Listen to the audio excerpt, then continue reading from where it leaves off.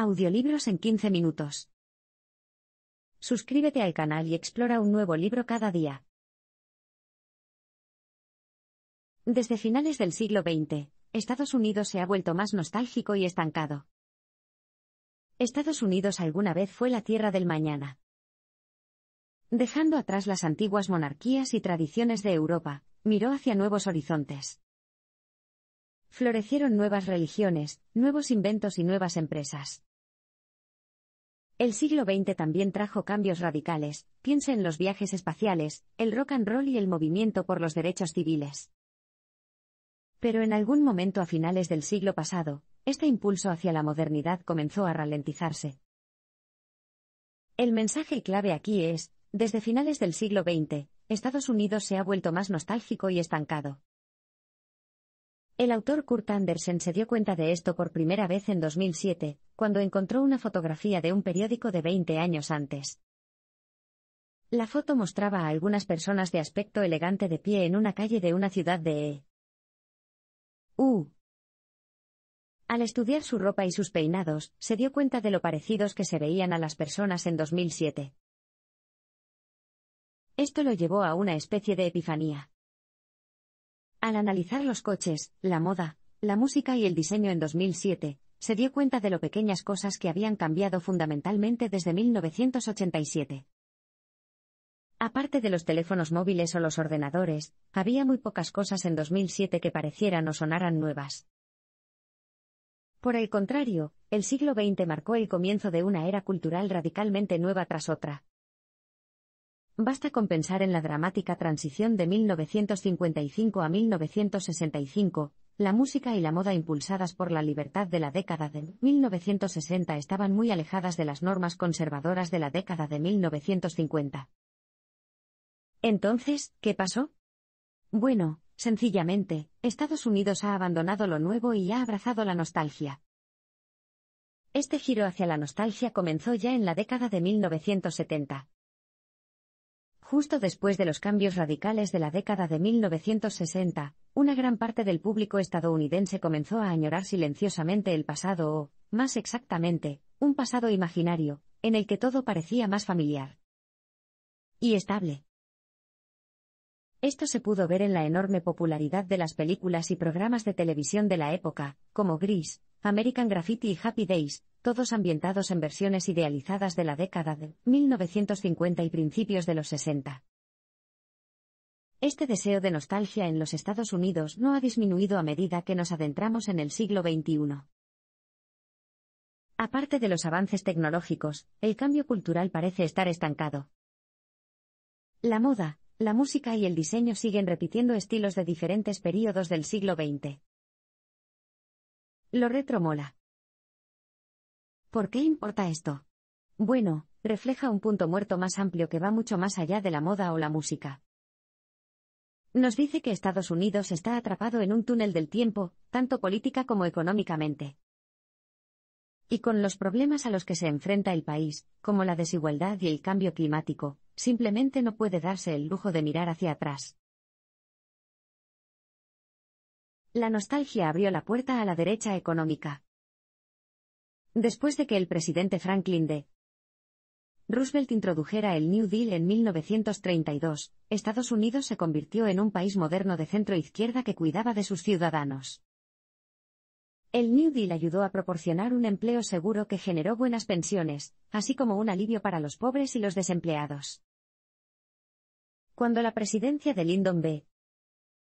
Johnson marcó el comienzo de una ola de reformas liberales en la década de 1960, parecía que las ideas de la derecha económica estaban en permanente retroceso.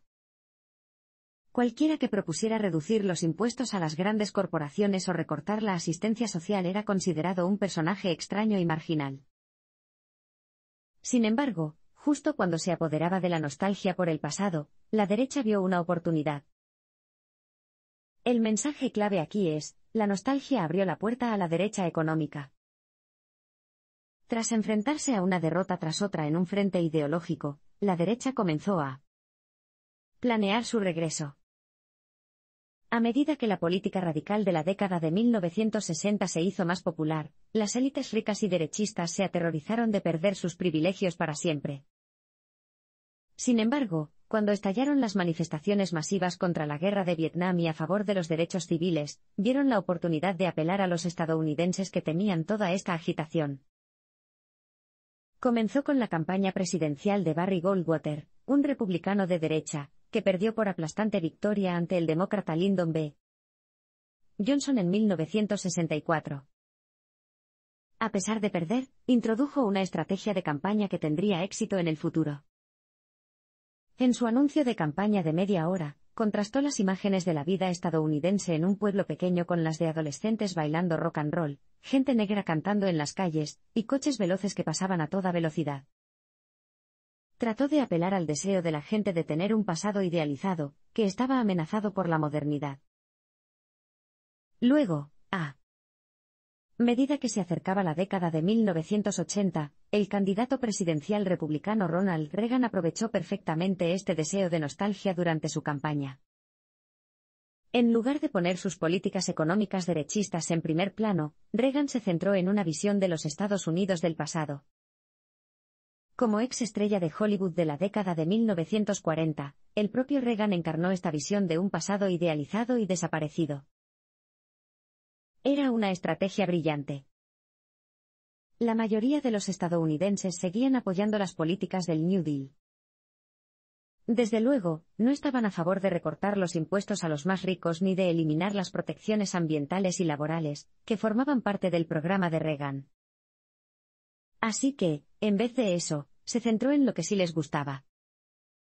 Y lo que les gustaba era una nostalgia cálida y difusa, Estados Unidos rodeado de cercas blancas, con sus grandes jardines, frontones y repartidores de periódicos.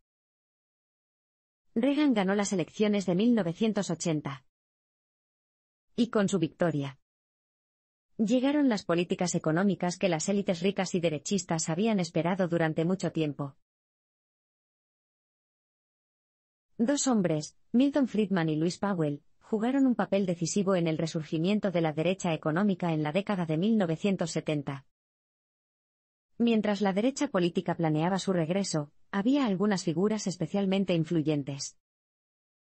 Eran personas que habían visto, con horror, cómo se desarrollaba la década de 1960, y el sentimiento se volvía en contra de las grandes empresas y los ricos. Y a pesar de que sus ideas económicas fueron impopulares durante décadas, se mantuvieron firmes. Esperaron el momento adecuado para atacar. Dos de estas personas serían particularmente importantes para la contrarrevolución económica. El mensaje clave aquí es, dos hombres, Milton Friedman y Louis Powell, desempeñaron un papel decisivo en el resurgimiento de la derecha económica en la década de 1970. Primero, estaba Milton Friedman, profesor de economía de la Universidad de Chicago.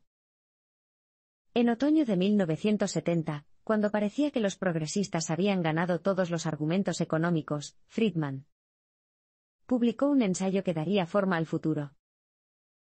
Publicado en la revista New York Times Magazine con el título Una doctrina de Friedman, la responsabilidad social de las empresas es aumentar sus ganancias, el ensayo argumentaba que las empresas no deberían tener más responsabilidades que acumular ganancias. El ensayo de Friedman defendía la frialdad, y ridiculizaba a los ejecutivos que perseguían responsabilidades sociales, que él pensaba que eran un disfraz del anticapitalismo. La pieza presentó una impactante visión alternativa a gran parte del pensamiento progresista de la época. ¿Y adivina qué? Muchos directores ejecutivos y empresarios adinerados estuvieron de acuerdo con Friedman. Estaban hartos de que los liberales que dominaban la conversación pública los despreciaran. El artículo de Friedman fue un gran dedo medio para todos ellos. Muchos de estos empresarios asimilaron cada una de sus palabras, el texto dio forma a las salas de juntas corporativas durante las siguientes cinco décadas. De manera vital, el pensamiento de Friedman influyó en las políticas del futuro presidente republicano Ronald Reagan. La segunda figura importante fue Louis Powell, un importante abogado de Virginia. Preocupado por el ambiente anticapitalista de la década de 1960, presentó un plan de acción a la Cámara de Comercio de los Estados Unidos en 1971 para combatir lo que él consideraba elementos subversivos de izquierda. En este documento, propuso una campaña para infiltrarse e influir en el mundo académico, los medios de comunicación, la política y el sistema legal. Para ello, Powell afirmó que la derecha económica necesitaría presupuestos de un tamaño nunca antes visto en las campañas políticas. Las empresas que quisieran protegerse de las políticas liberales deberían donar para financiar grupos de reflexión, académicos y periodistas comprensivos, todos ellos promotores de la ideología económica de derecha. Esto marcó otro acontecimiento importante para la derecha. Política, el comienzo de las campañas de cabildeo bien financiadas que dominarían la política estadounidense hasta bien entrado el siglo XXI. Friedman y Powell, en sus diferentes formas, fueron clave en la marcha de la nueva derecha. La derecha adoptó algunas estrategias de sus oponentes políticos para ganar el poder. Cuando piensas en los elementos radicales de la década de 1960, probablemente tengas en mente algunas imágenes. Quizá veas a hippies en Woodstock drogándose LSD. Quizás te imaginas a los estudiantes que se manifiestan contra el gobierno o a las pancartas y consignas de las campañas antinucleares. Curiosamente, quienes se oponían a todo este radicalismo, el tipo de conservadores que conocimos en los parpadeos anteriores, acabaron robándose algunas de sus ideas y estilos de campaña. El mensaje clave aquí es, la derecha adoptó algunas estrategias de sus oponentes políticos para ganar el poder. En lugar de presentarse como conservadores anticuados y anticuados, la nueva derecha política aprovechó el espíritu de la época. Tomemos como ejemplo el ultraindividualismo de la década de 1960. Durante esos días, las personas, especialmente los jóvenes, reaccionaron contra el conformismo de los Estados Unidos. De posguerra volviéndose aún más individualistas. Mientras los hippies exploraban su libertad individual y encontraban sus propias verdades, la nueva generación de derechistas, como Milton Friedman, animaba a sus lectores a hacer lo mismo. Friedman los alentó a no sentirse avergonzados por su deseo de hacerse ricos o buscar ganancias sin una conciencia social. Como los hippies, deben hacer lo que les parezca correcto. Después de todo, el libertarismo, que era como se llamaba a este tipo de economía con impuestos bajos, tenía que ver con las libertades personales. Otro elemento de las décadas de 1960 y 1970 que adoptó la derecha fue la desconfianza hacia el gobierno. Tras la guerra de Vietnam y el escándalo de Watergate, la confianza en el gobierno, y en la autoridad en general, se desplomó. Esto encajaba perfectamente con la narrativa económica de la derecha, ya que creían que el Estado debía mantenerse lo más alejado posible de la vida de las personas. Así que, en lugar de impugnar el sentimiento popular de que el gobierno era corrupto, lo alentaron. Querían ver un retroceso del Estado y una desregulación generalizada, para que las empresas pudieran hacer lo que quisieran. De hecho, en el discurso inaugural de Ronald Reagan, dijo, el gobierno no es la solución a nuestros problemas, el gobierno es el problema. Por último, en otro eco de los activistas liberales, estaban personas como Luis Powell, el abogado de Virginia, que trataron de describir a los empresarios adinerados como víctimas. Escribió, el ejecutivo empresarial estadounidense es realmente el hombre olvidado, lo que reflejaba, de manera perversa y distorsionada, el lenguaje de quienes hacían campaña por los derechos de las minorías y las personas vulnerables. Todas estas tácticas, por cínicas que fueran, solo ayudaron a la causa de la derecha libertaria, lo que resultó en sus grandes victorias de la década de 1980. El éxito de la derecha estadounidense se debe en gran medida a la autocomplacencia liberal. En cierto momento, a los liberales estadounidenses les debe haber parecido que habían ganado la mayoría de las discusiones políticas. La lógica del New Deal, con su empleo seguro, sindicatos fuertes y ayuda a los pobres, se había arraigado en la sociedad estadounidense. Y aunque quedaba mucho camino por recorrer en materia de raza, género y sexualidad, se habían logrado avances. Así que, fatalmente, después de la década de 1960, los liberales estadounidenses se volvieron complacientes y bajaron la guardia. El mensaje clave aquí es, el éxito de la derecha estadounidense se debe en gran medida a la autocomplacencia liberal. Primero, pensemos en la nostalgia de la que ya hemos hablado. No solo los que tenían miedo del radicalismo de la década de 1960 se volvieron nostálgicos, los progresistas también lo hicieron. Durante la década de 1980, mucha gente, incluidos muchos liberales adinerados, comenzó a adoptar las modas y costumbres del pasado como una especie de capricho. Por ejemplo, en lugar de disfrutar de la cocina moderna y global que ahora está disponible en los Estados Unidos, muchos comenzaron a recurrir, medio en broma, a la comida reconfortante, la cocina casera tradicional estadounidense. Si bien la adopción de la comida reconfortante parecía una moda pasajera inofensiva, ocultaba algo más grave, mucha gente, incluidos los liberales, añoraba el pasado. Un pasado menos radical, más estable y más blanco. Ese instinto también se puede ver en la popularidad de un libro llamado The Official Preppy Handbook, que no solo satirizó los hábitos arcaicos de los estudiantes universitarios blancos ricos, sino que también los hizo populares. La irónica aceptación de la nostalgia por parte de los liberales permitió que el ambiente se generalizara. Y así, cuando los políticos de derechas como Ronald Reagan empezaron a apelar a esa nostalgia, tuvieron mucho éxito. Después de la década de 1960, algunos liberales se desencantaron con los sindicatos, que no siempre apoyaban a las minorías y a las mujeres. De hecho, muchos liberales consideraron que los sindicatos estaban llenos de fanatismo anticuado.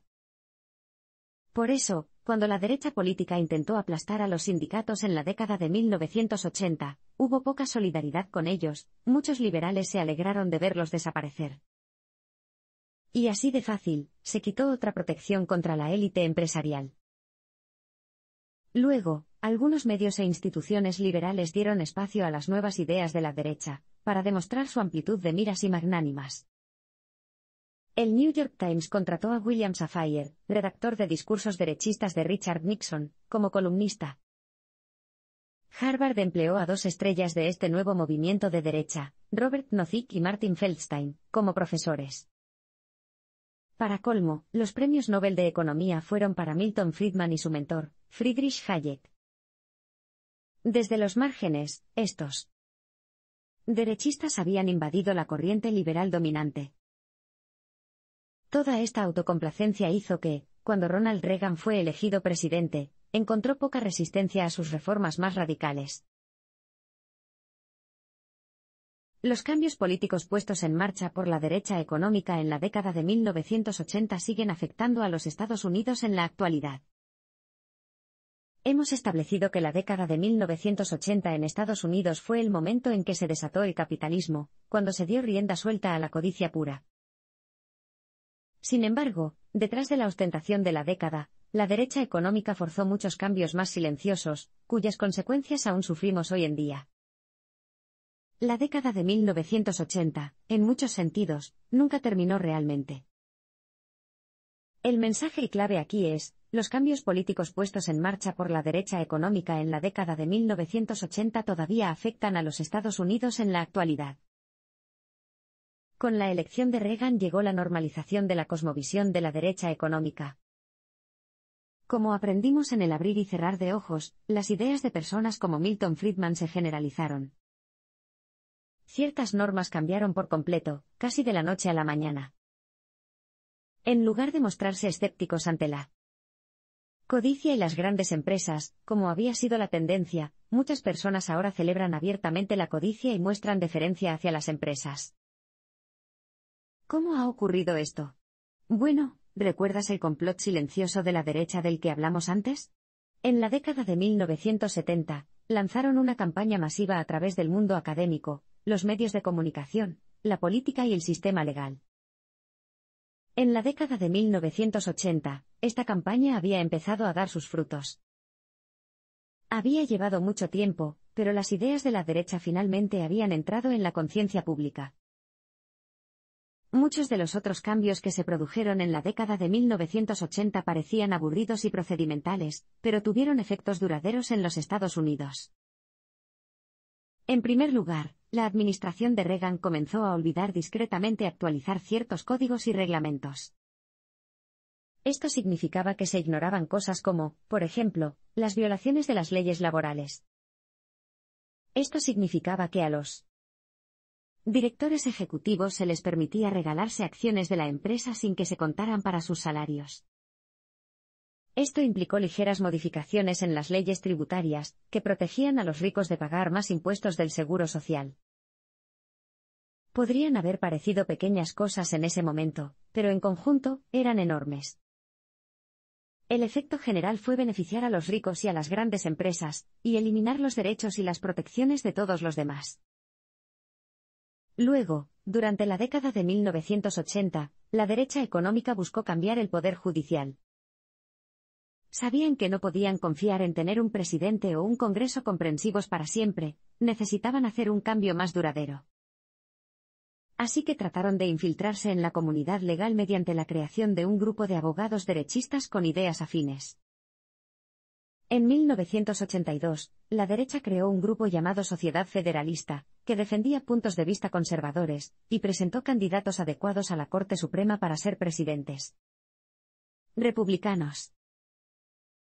Con el tiempo, lograron incorporar puntos de vista conservadores en la Corte Suprema, puntos de vista que consideraban que la economía del libre mercado fundamental formaba parte del ADN legal de los Estados Unidos. Una vez más, sigilosamente, la derecha económica había dado un enorme paso para consolidar su poder.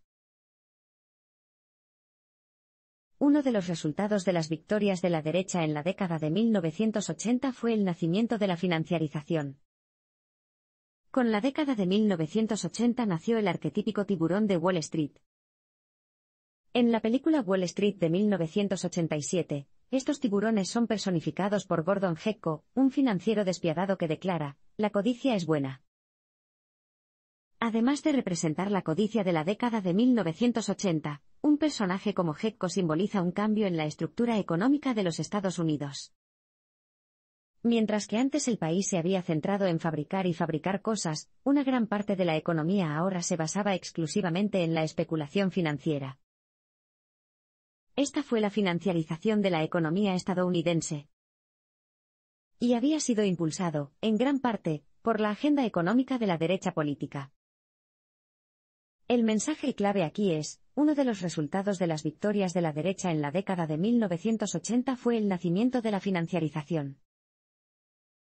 Las consecuencias de esta financiarización fueron múltiples. La más obvia es la aceptación inmediata del riesgo. Cuando Reagan fue elegido, redujo drásticamente el impuesto sobre las ganancias de capital para que los inversores pudieran quedarse con una mayor parte de sus ganancias. Esto llevó a un enorme aumento en los precios de las acciones a partir de 1982, ya que mucha gente vio el mercado de valores como una forma rápida de hacerse muy rico. Así que los inversores se acumularon, ganando y perdiendo miles de millones de dólares. Sin embargo, aquí no fue donde se detuvo el riesgo. Las políticas desreguladoras de la administración de Reagan hicieron que fuera más fácil que nunca para los estadounidenses de clase trabajadora pedir préstamos con tarjetas de crédito y solicitar préstamos riesgosos. Esto llevó a que muchas personas, que ya estaban en la línea del PAN, contrajeran enormes deudas. Esta misma desregulación allanó el camino para una asunción de riesgos aún mayor a finales del siglo XX. Esto se logró mediante el uso de Instrumentos financieros que estaban cada vez más separados de las empresas y los productos básicos reales. Se trataba de derivados de alto riesgo, que tenían poco que ver con la inversión directa en algo real. Mientras esto sucedía, las propias empresas se estaban quedando vacías por centrarse en el mercado de valores. La noción de valor para los accionistas cobró importancia, lo que significó que, en lugar de considerar su futuro a largo plazo, las empresas se obsesionaron con generar beneficios para los accionistas a corto plazo.